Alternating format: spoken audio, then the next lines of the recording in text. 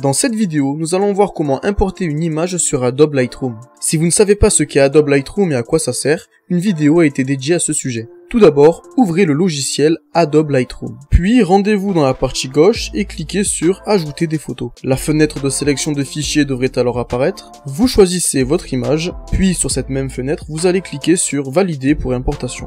Une fois qu'elle a été ajoutée dans l'album, cliquez en haut à droite sur le bouton bleu, ajouter une photo. Et voilà, votre image est maintenant importée, vous pouvez à présent la modifier. J'espère que ce tutoriel vous aura été utile et nous on se retrouve très prochainement pour de nouveaux tutos et astuces en une minute.